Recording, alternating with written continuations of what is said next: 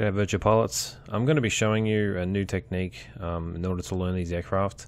Uh, it's based on two new terms called a trigger and a flow. A trigger is an event which calls you to perform a flow, and a flow is a sequence of actions you perform in the cockpit for a particular phase of flight. I've created flows for the F5 as well as other DCS aircraft from startup to shutdown, and the purpose of these is so you can um, learn the cockpit layout faster, perform your actions in a logical order, as well as reduce your checklist reliance. Your checklist and flows will work together because the checklists are going to verify that your flows have been performed correctly, which will help you fly the aircraft more efficiently. This will also be useful in a multi-crew aircraft. This picture is going to be the basis of all the flows I have in my PDF, and there's also a large version which can be printed off as a wall poster if you wanted to. The download links from the video description, and uh, there's also a kneeboard version if you wanted that as well.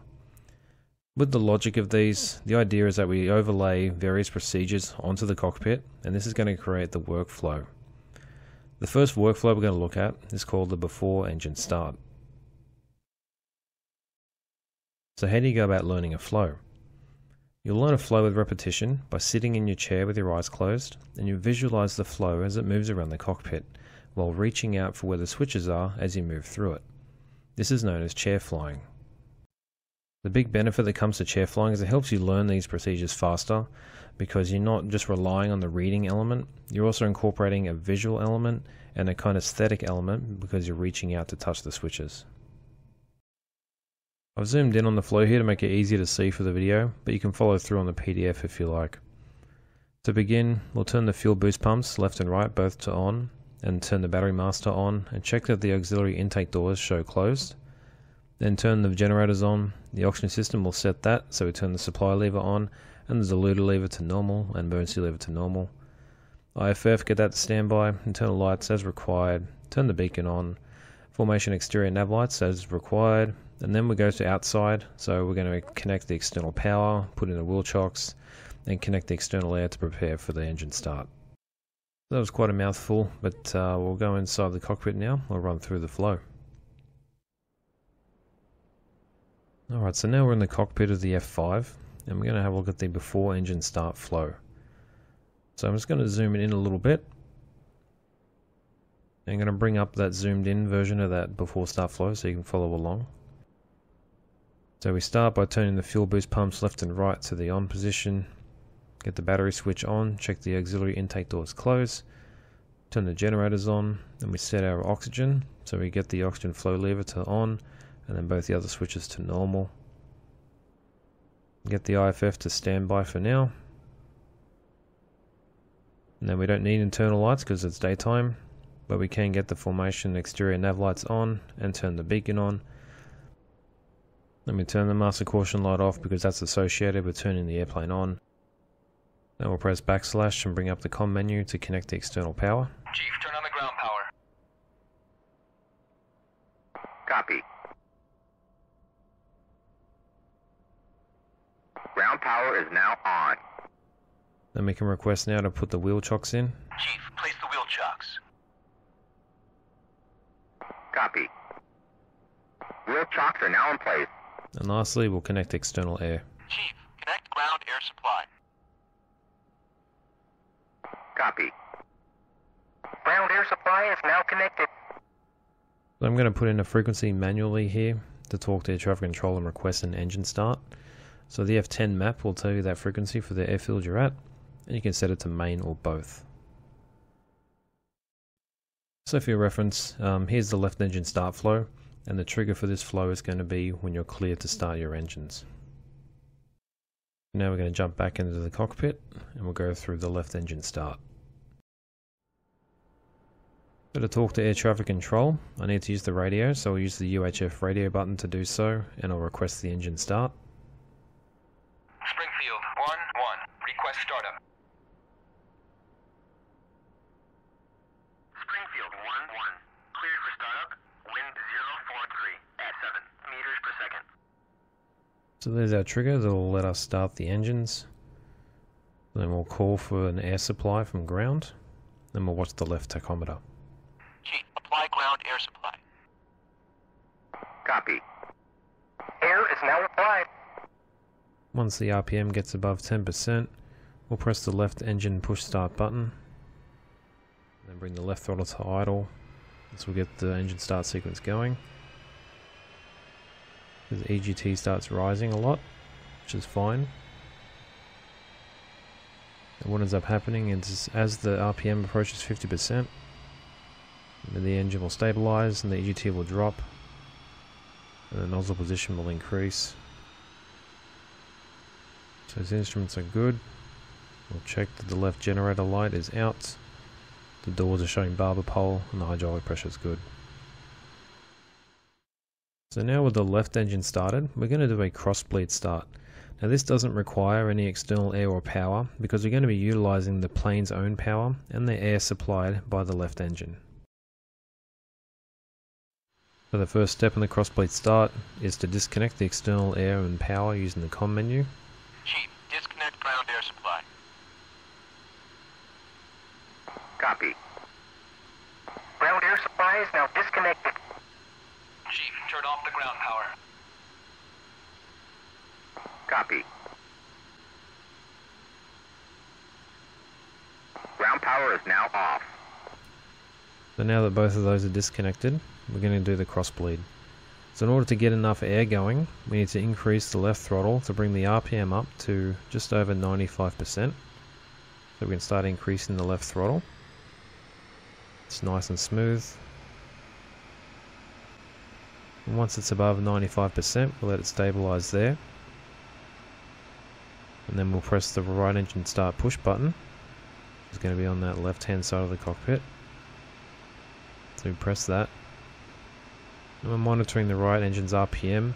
Once it gets above 10%, we can then bring the right throttle out of the shut off to idle. This will get the engine start process going. And it's just like with the left engine. The EGT will rise a lot. Nozzle position will stay somewhere around the middle.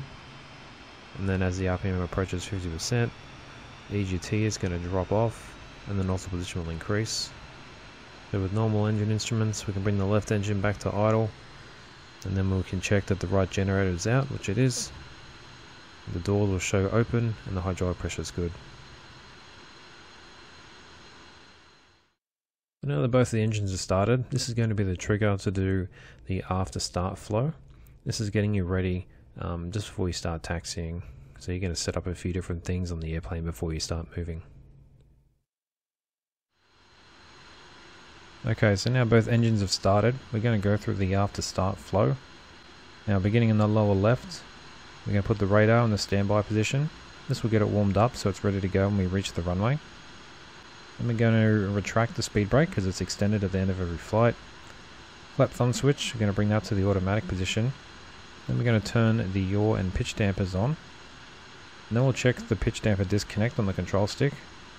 We hit that, it'll disconnect automatically, so we can reconnect that now. And then we do the flight control check. So full left stick to bring left aileron up. Now we put the right aileron down, and full right stick for right aileron up, and left aileron down. Then full back stick and full forward stick, checking the deflection there. And we check rudder movement, and you would check the rudder itself if you could see it. So now we're going to set the TACAN. The tuned frequency for here is going to be 12 X-ray. So we set that and set it to the transmit receive. We'll go through the process of tuning, and while it's doing that we can go through the rest of the instruments. Uh, the radio is set correctly for the tower here. So now we can go to the standby attitude indicator and uncage that.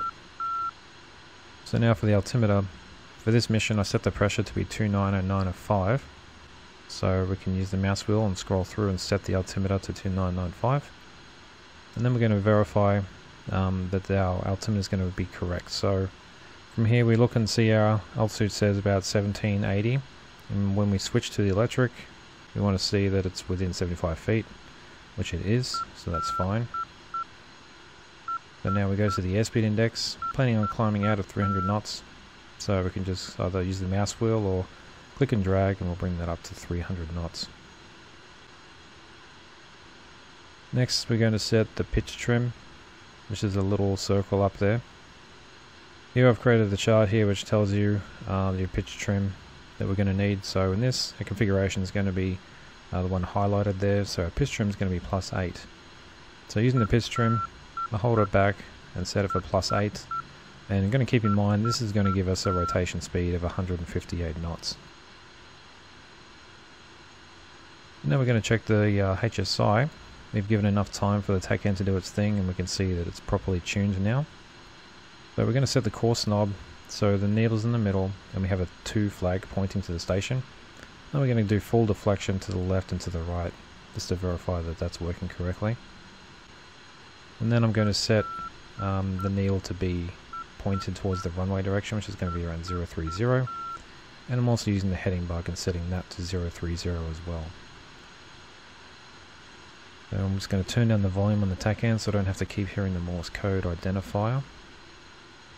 And we can request the wheel chock removal. That's going to bring us to our next flow. Chief, remove the wheel chocks. Copy.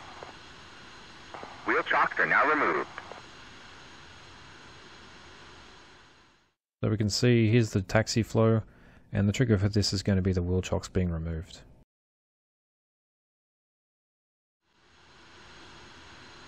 Alright, so the wheel chocks removed, we're going to go over the taxi flow. We engage the nose wheel steering on the control stick and hold it.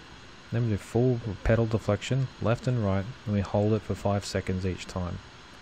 This is going to generate the maximum amount of torque on the nose wheel steering system, and then we'll verify this is still working when we uh, begin taxiing. So now we're going to have a look at the flight instruments. VSI is 0, standby attitude indicator is level, altimeter is checked and set, airspeed is set, attitude indicator is level, HSI has got the runway heading set and bugged. Now we can turn on the radar warning receiver and uh, we come down to the lower right now. The IFF SIF control. You don't really get a squawk here, so we're just going to chuck in a VFR squawk for the hell of it. Let me put on onto normal.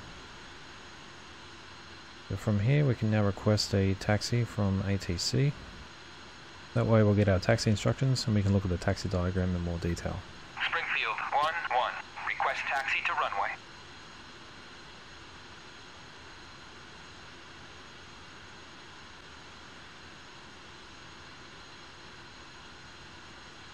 Springfield 1-1. Clear to taxi to runway 3. Path 1. So all airports will have an airport diagram, and these will let you determine where you are, and so when you're given instructions by air traffic control, you can figure out how to get where you want to be. So for this example, we were told to go to runway 3 left, so we're going to take a left on taxiway Golf, then we'll make a right turn on taxiway Alpha, going to cross runway 3 right, then we're going to hold short of runway 3 left, and from there we'll do the before takeoff flow. Alright, so we've been given our instructions and we're going to complete the taxi towards the runway. So we're going to add a little bit of power, get ourselves rolling. As we start rolling, we're just going to use the wheel brakes just to verify they're working. So that's fine. You can bring up the power again and start moving. And on the way out, hold down that nose wheel steering button. Just go to the left and to the right just to verify that you do have that set correctly because if you don't have this button set up then it's going to make taxiing pretty difficult for you. You'll have to rely on the brakes and uh, making a sharp turn such as what we're coming up to here would be uh, pretty hard to do. So as you're coming up to the turn here, keep that nose wheel steering button engaged, then just start applying uh, left rudder. This is going to bring us around by engaging the nose wheel. Now if you're having trouble with the sensitivity of the nose wheel steering, you can add a rudder curve of between 20 and 30%. This will help you make more fine control adjustments. Now I'll move forward in time a little bit towards where runway 3 left is and we'll look at the before takeoff flow. Right, so as we're approaching runway 3 left, this little hold area is our, known as the end of runway area and there's multiple um, diagonal taxi lines here which is where the different fighter aircraft would line up. Um, and since I'm the only one here, I'd line up on the diagonal closest to the runway. This is where the maintenance guys will do their final check before you go take off. Now I'm just going to pull in here, get myself lined up and then um, we'll come to a stop and uh, from here we'll look at our before takeoff flow.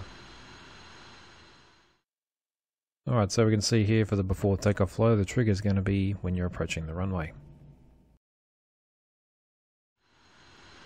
So now we can get the aircraft ready for takeoff. There's only a few things left we have to do. So we're going to get the countermeasures. You can set those up however you like. I'm just going to put the chaff onto the single. Radar mode will be operational. Radar range is set. We're going to extend or hike the nose strut. This is going to help shorten our takeoff roll. HSI is set up, so the CDI and the heading bug are on runway heading. Let's turn the pitot heat on. We don't need the engine anti-ice on here. And close the canopy. Verify the caution and warning lights are all out.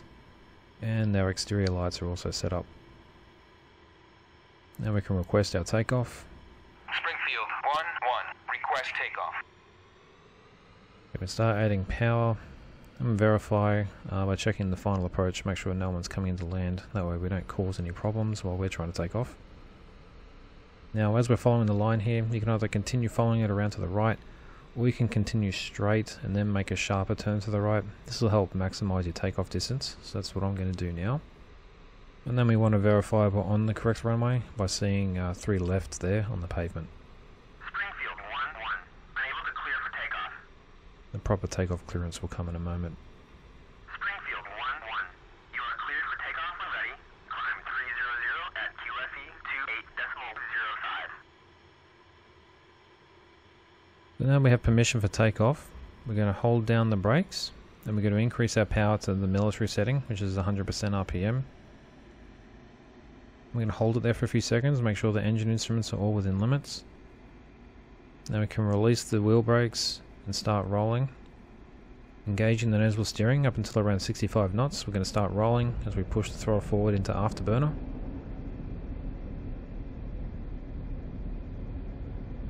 Using the rudder to keep ourselves aligned with the center line. Then once we reach 158 knots, we'll apply back pressure and rotate. Once we get a positive rate of climb, we can bring the landing gear up and start accelerating. As we pass through 200 knots, we can bring the flaps to the up position if you like. And as we start accelerating through 250 knots, we check that the auxiliary intake doors are closed. And uh, because you had such a high nose up trim during the takeoff, you're going to need to add nose down trim um, as you start accelerating to 300 knots. And uh, since we're reaching 300 knots now, we can pull ourselves out of afterburner, round into the military power setting. So we can see the EGT and the nozzle position will adjust as we come out of afterburner. We can maintain 300 knots, and then as we're coming through 5,000 here, going to make a turn uh, just off to the north. If you like, you can use the HSI to bug the heading. I'd just rather fly the airplane at the moment. And uh, since we are on our initial climb to altitude, that's going to be the trigger for the climb flow.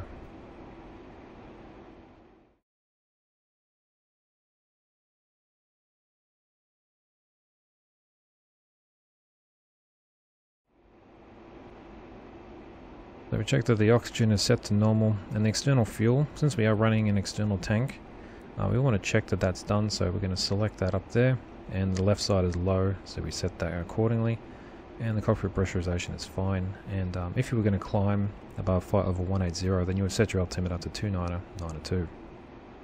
I hope you've learned something with this new concept about flows. Uh, I'm going to continue this with the next F5 video as well as other DCS aircraft if you guys like this new format. Just want to give a quick shout out to my patrons. I really appreciate your support and the fact you've been giving me some good feedback and thoughts about this content. It's helped me improve and tailor it to what you guys want to see. Till next time though, remember to fly safe and check your six.